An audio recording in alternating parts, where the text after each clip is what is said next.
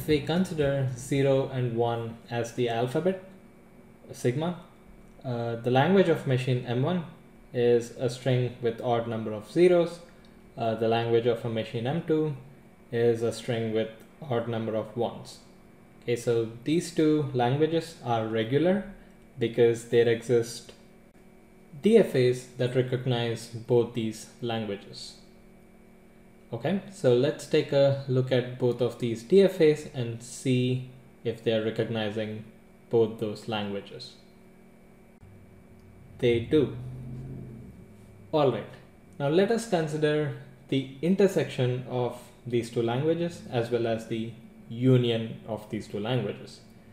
So formally, uh, language of M1 intersection of language of M2 is set of all the strings with odd number of zeros and odd number of ones. Similarly, language of M1 union language of M2 is the set of all the strings with odd number of zeros or odd number of ones. If we can come up with DFAs that recognize these two languages, we are a step closer to formally proving regular languages are closed under union and intersection meaning if L1 and L2 are regular languages, then L1 union L2 as well as L1 intersection L2 are regular languages as well. Alright, so let me show you the DFA that accepts the intersection language. Uh, there you go. So you can verify through visual inspection this DFA is going to accept strings that have odd number of zeros and odd number of ones. Similarly, I have a DFA for the union language as well. Uh, it's got like more accept states than the intersection DFA, uh, but pretty much the structure of both these DFAs is the same. In the next part of the lecture, I'm going to show you how to construct uh, these union and intersection DFAs using individual DFAs. For that, let me formally introduce to you delta star. I've discussed about delta star earlier, but here is where I'm defining it formally. Delta star is an upgrade of the standard transition function of a DFA, delta.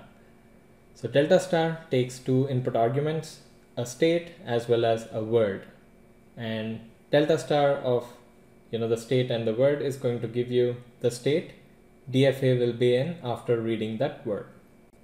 I'm going to explain these two points in the inductive definition of delta star using an example.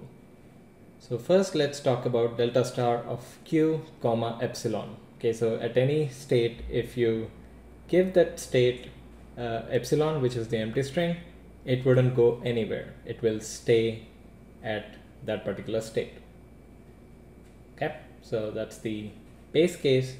The inductive step here is delta star of q comma wa. So w is a word and a is a character from the alphabet. All right, so that can be rewritten as delta of delta star of w comma a. So we'll see this in action using this example. All right, so let's say I'm starting at Q naught and then I'm feeding the DFA the word ABA. So delta star of Q naught comma ABA equals to, I'll be using the inductive step right there and rewriting it this way. So delta of delta star of Q naught comma AB comma A. Now I can further apply the inductive step on the delta star that we have inside the parenthesis. So I'll end up with delta of delta star of q naught comma a comma b. I'll apply that again and finally end up with the empty string um, you know inside those parentheses. Now delta star of q naught comma epsilon from the base case we know that it's equal to q naught so I'm going to write it here and from now on, all I have to use is the transition function delta. Okay, so delta of q0 comma a, uh, it goes to q1. Now delta of q1 comma b, it would go to Q2 and then delta of Q2 comma A is going to go to Q3. We'll be using this inductive definition of delta star while coming up with the DFAs for intersection and union languages. Note that from the definition of delta star, we have that W belongs to the language of the machine M if and only if delta star of Q naught comma W belongs to the final states set F. Now let's do formal construction of product of two DFAs. Uh, right here I have machines M1 and M2 and their five tuple descriptions. So M1 and M2 are DFAs which are operating on the same alphabet sigma. But they have different sets of states, Q1 and Q2, different transition functions, delta 1 and delta 2, uh, different start states, um, Q01 and Q02, and different set of final states, F1 and F2. A product automaton of M1 and M2 is an automaton defined as, I'm going to name it N. So it has set of states Qn, the alphabet is going to be the same, sigma, uh, transition function is delta n. The start state for uh, the DFA n is actually a pair. It's the pair of start states from M1 and M2. And then we have final states uh, f of n. Now I'm going to go over every individual term in this product automaton, starting with Qn. Qn is the uh, states, set of states in the DFA n. Uh, it is defined as the Cartesian product of Q1 and Q2. Okay, so Cartesian product of these states from machine 1 and machine 2. Let me explain this using an example that I have here. Q1 is the set of states P0 and P1, Q2 is the set of states Q0 and Q1. So the set of states in product automaton Qn is the Cartesian product of Q1 and Q2, which would give you those four pairs. Okay, so the states in the product automaton are going to have the labels, uh, which are those pairs. Now let's move on to the delta n. Okay, so uh, delta n of p naught comma q naught comma 0. So I have this state I'm going to give the character 0 to it, which state would it go to? So I can use the expansion that I have here from the definition and I arrive at delta 1 of p 0 comma 0 comma delta 2 of q 0 comma 0.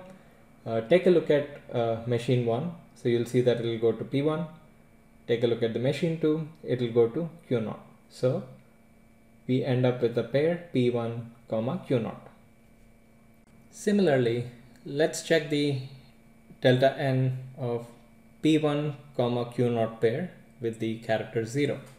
So I'm going to expand it uh, and then I'll arrive at this pair. So I'm going to mark it in the uh, DFA diagram I have here. Okay, repeating the same stuff with P1, Q1, uh, I end up with P0, Q1. Repeating it with P0, Q1, I end up with, with P1, Q1. Perfect. So the DFA is almost done. We're going to repeat the same procedure uh, when we feed the character 1 to these state pairs. And then we'll end up with these results. So I'm going to use these to draw the uh, DFA. Great. Now we have everything except the final states in the DFA. For n to accept the intersection language of machine M1 and M2, we have to set the final set of states as the Cartesian product of F1 and F2.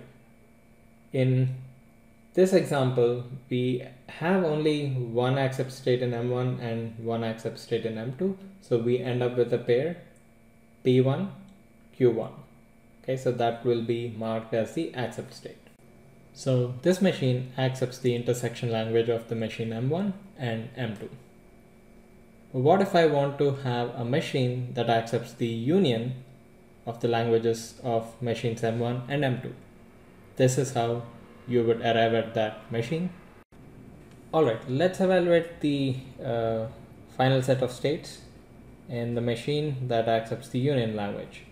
It's gonna be F1 cross Q2 union Q1 cross F2. So we have